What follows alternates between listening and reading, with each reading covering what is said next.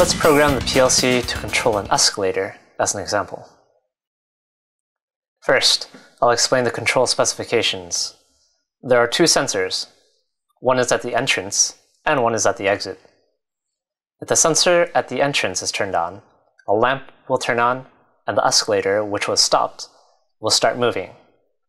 If the sensor at the exit is turned on, the lamp will turn off, and the escalator will stop. So on the input side, we have X1, which is the entrance sensor, X3, which is the exit sensor. On the output side, we have Y0, which is the lamp, Y3, which is a motor that drives the escalator.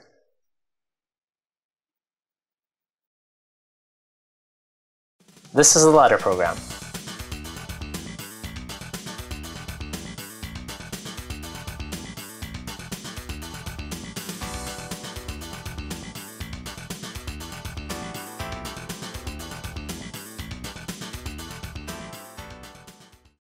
It's a latch circuit again.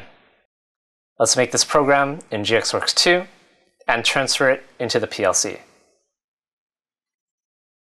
Now let's check the operation. X1 was assigned as the entrance sensor. So press X1 and the red lamp will turn on and the motor will start. Next, turn on the limit switch X3, which is the exit sensor. The red lamp will turn off and the motor will stop. Let's check on GXWorks 2. Press F3 on the keyboard. The monitor mode should start. Press X1 and the outputs should turn on.